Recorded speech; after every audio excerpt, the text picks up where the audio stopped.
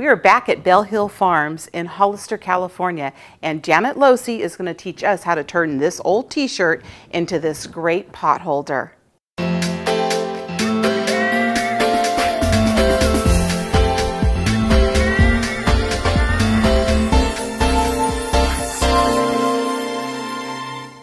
Janet, thank you so much for having us back up at Bell Hill Farms. It was so much fun last year when we you taught me how to do the rag rug weaving. That was really a lot of fun. And I think you even have something better in store for us today. And you're going to show us how to make loopers? Yes, to make the uh, pot holder, you first you need to know how to make a looper. And so we take a t-shirt and the first thing we do is we cut off the hem. And you don't have to be too careful about it, just get it off and then you cut little strips. And I'll just cut one to show you the process.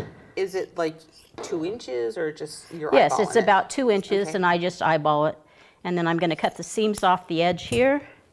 And now we have two big rectangles. Because you folded the t-shirt in half. I folded it in half. Okay. Now I'm gonna take this one and started with the folded edge, I'm gonna cut up the center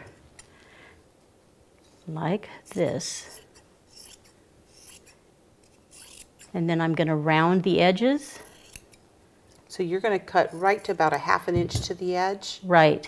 And then to make the looper, you just pull the t-shirt. I love that. And you have your, your looper. This is great. Because you know, when the kids do those little kits that they buy, they're like nylon and stuff. This is great because it's all recycled t-shirts that you're using to do this. Right. And so let me do a blue one, and then we'll get started.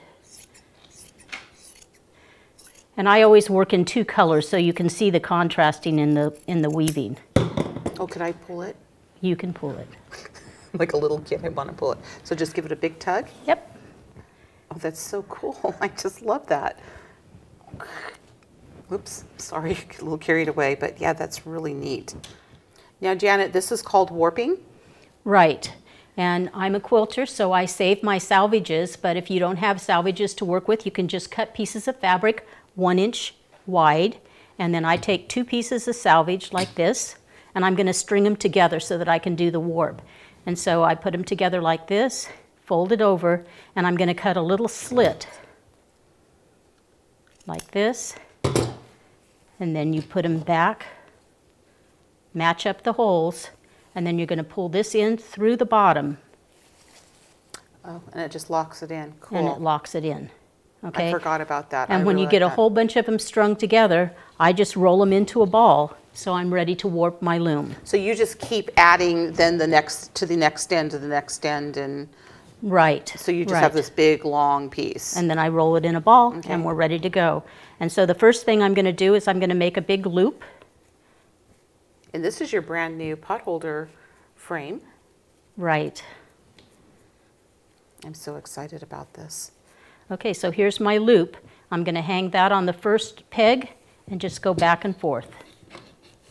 And when I get to the end, I'm going to make another loop on the bottom one, and then we're ready to weave.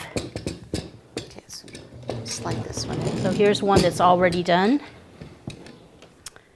and we're ready to start the weaving process. Now tell me a little bit why you have a rubber band on this.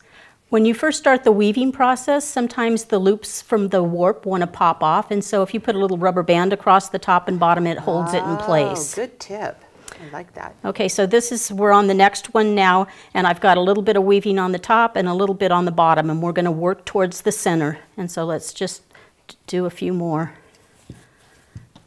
So this really goes pretty fast, Janet. Yes, compared to a rug, the potholders are done in no time. And I think even kids could do this. So it's just always over and under, over and under. Over and under. Okay, so when you get to the end of the first row, one of the very important steps is to go through this loop on the first peg. And so we're putting this, only one strip has to go through. And that's when you remove it from the loom, then it'll all hold together.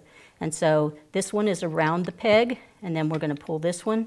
So both strips go around the peg and the first strip, and then you just start back in the other direction.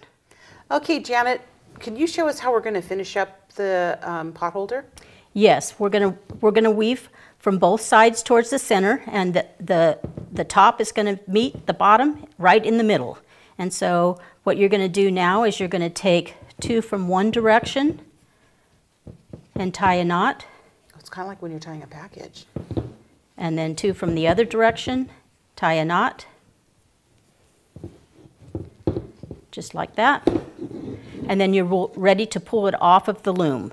And so we're going to remove the rubber bands, Oh, this is the scary part for me. and then we're going to pull the pins out. And then you just pop it off. And it's all done. All you got to do is take a crochet hook and weave the ends in. Okay, so I'm going to pull these through to the back. And turn it over.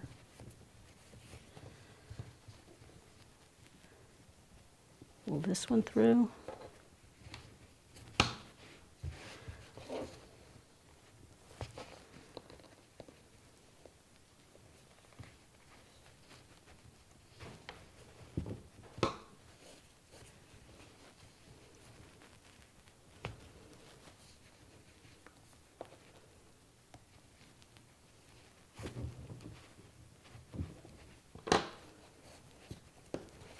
And I just weave these back and forth, front to back, until um, I've done it three or four times, and then just cut off the ends, and it's finished. And so when you cut the ends off, Janet, it just kind of disappears right into, Right. right, so you would cut it pretty close into there? Right, Perfect. right. And let's bring a couple of the other ones that you've already done out to show our viewers. This is just really cool. You can see, here's the little pieces have been cut off, but it doesn't affect. And what I really like about this is like you could grab something from the oven like this and then you put it right on your counter and I mean, boy, that's really nice and thick too. Yes, it'll work as a pot holder or as a trivet.